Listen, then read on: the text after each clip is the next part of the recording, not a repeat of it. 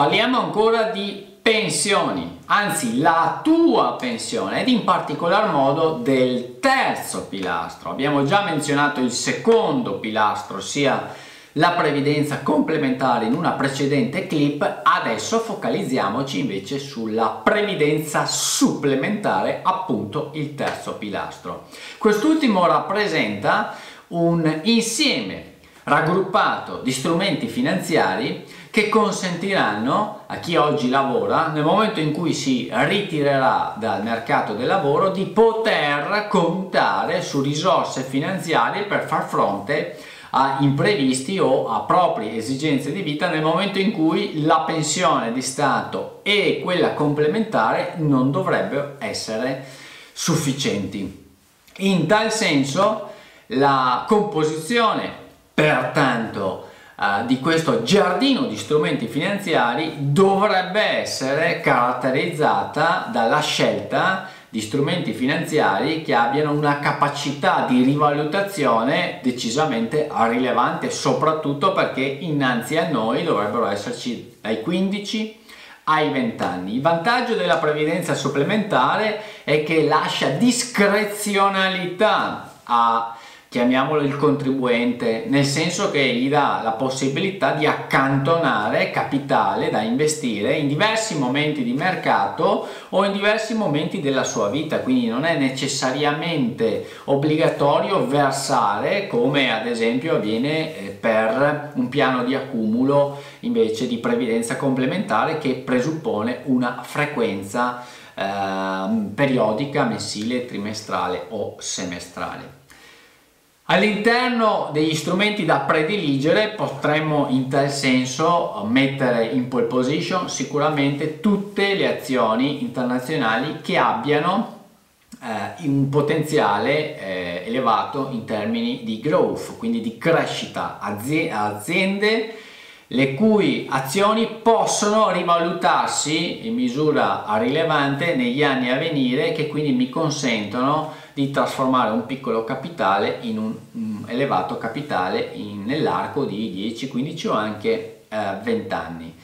In secondo eh, luogo potremmo prediligere al posto di azioni anche strumenti di risparmio cosiddetto convenzionali, risparmio gestito convenzionali come gli ETF a replica fisica specializzati sull'azionario soprattutto in quelle zone del pianeta, quelle macro aree geografiche che saranno soggette ad una elevata crescita economica, quindi una parte dell'Africa e una parte consistente di quasi tutto il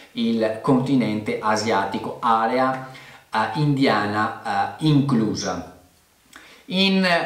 sarebbe in tal senso da evitare invece i, i fondi cosiddetti comuni di investimento in, quanti, in, quanto sono spesso gravati da commissioni di gestione eh, in alcuni casi molto eh, onerose e che quindi con, in un'ottica di lungo tempo vanno ad erodere anche eh, significativamente il capitale complessivamente che si andrà a maturare. Oltre a questi eh, oltre a questi prodotti ne abbiamo uh, degli altri che possono essere definiti dei fondi comuni di investimento ma specializzati per data obiettivo, vale a dire fondi che strutturano tutta l'attività di gestione attiva al fine di ottimizzare eh, il, gli investimenti con l'ottica di massimizzare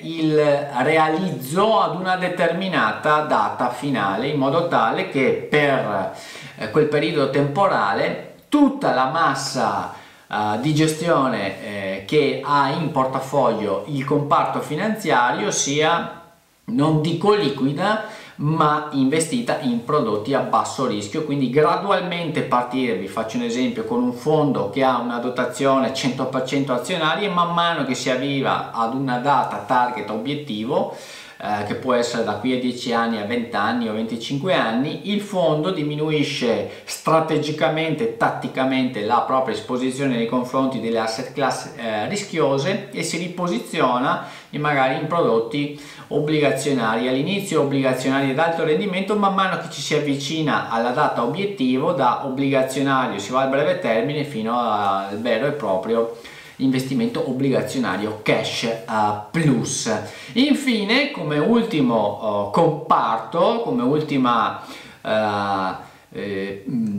tassello del mosaico, io ci aggiungerei anche, visto il potenziale di rivalutazione che ha tutto il settore fintech, in particolar modo una parte della criptosfera, anche alcune criptovalute, perché come abbiamo visto è molto, molto probabile che alcune di loro, soprattutto quelle che si sono specializzate o che sono nate per gestire i low latency instant payment, ossia le transazioni istantanee, le microtransazioni di pagamento istantanee a commissioni pari a zero, è molto plausibile che eh, queste criptovalute saranno oh, nel, uh, utilizzate nel vivere di tutti i giorni da qui a 10-15 anni, quindi magari oggi costano qualche centesimo di dollaro e tra 10, 15 o 20 anni eh, proprio per la loro architettura eh, finanziaria, nel senso che hanno una quantità di offerta li, monetaria limitata, potrebbero invece andare incontro ad una rilevante eh, ad una maturazione di valore veramente rilevante e quindi convertire magari poco capitale in tanto uh, capitale che è lo scopo principe che deve avere il terzo pilastro ossia contenitori uh, di rischio contenitori di strumenti finanziari ad elevato rischio ma anche con elevato potenziale di rivalutazione perché non si va ad investire ma si va a ricreare una um, piano di accumulo di capitale investito che dovrebbe eh, rivalutarsi in misura uh, molto sensibilmente in misura molto rilevante proprio quindi consentendomi di poter ottenere ad una determinata età uh, o un determinato momento della mia vita un importo, un capitale da cui attingere per far fronte ad esigenze di vita legate magari proprio all'uscita dal mercato del lavoro sia di forma obbligatoria che di forma eh, volontaria. Trovate come sempre nella nota informativa della clip ulteriori argomenti di approfondimento legati al tema del terzo pilastro.